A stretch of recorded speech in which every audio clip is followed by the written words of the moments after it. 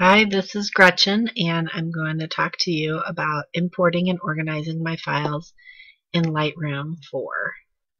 So I have already plugged in my um, S, my uh, CF card, and I've plugged in my external hard drive for backing up my files. I'm going to go to File. I'm going to import my photos and videos, and it's going to pull up all my sources and I'm going to select the CF card which is right here and it's going to see what is on my CF card. I've got quite a few images on there so I'm not going to load them all right now just to save a little time. I'm just going to load these ones from the library so I'm going to uncheck them all and I'm going to select them by picking the first one in the series going down to the last one in the series and pushing shift click. That selects them all. then I'll click the box and that checks them, the ones I have selected. And I'm going to go ahead, um, before I import them though, I want to go ahead and make a second copy.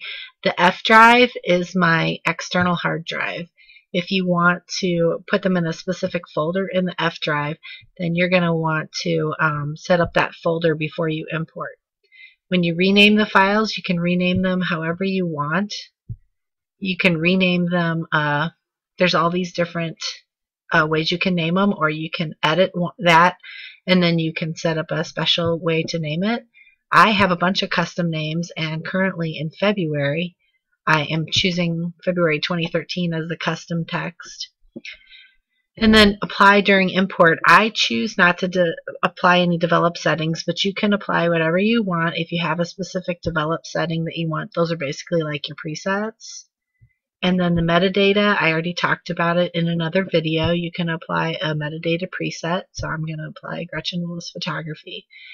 If you have any keywords, you can apply them now. It just makes it a lot easier down the road. Um, and so maybe for this set, since she's at the library, I might apply that pre that keyword library. I might apply um, my kids' names. My kids' names are Mara and Amy, and it's a lifestyle shoot. So maybe those are the keywords I'd enter. And then when you send them into Lightroom, you want to put them in the correct folder.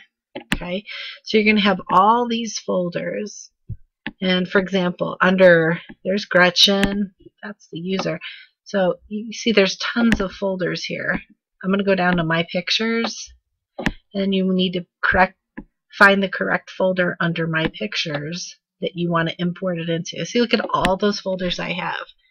So if I choose on, this is where I've been keeping my images, new imports of 2013 and February. Okay, and if you don't already have a folder set up, you just choose whatever parent folder you want to put it in, and then you can click into subfolder, and it will. You can type in the folder that you want to put it into. Okay, just I'll show you how to do this. Like, let's just say I want to put this in library, and I'm going to organize them into one folder. I usually don't do it by date because then if I upload images 12 different days, and I'm going to have 12 different subfolders. That's a lot of subfolders. So I'm going to organize it into one folder. And you can see here that when they come into the folder for February, here's the little subfolder down here that they're going to get put into because I've created it above. So let's go ahead and import them. And you're going to see what it looks like. I'm going to pause the video briefly while they import. Okay, and so now I've imported all my images, and you can see them there. And um, you can see how all the images have all the metadata on them, and they have keywords in them. So the keywords are way up here. There's my keywords. So that's how you import images, and I just wanted to give you a few tips on how to do that. Thanks.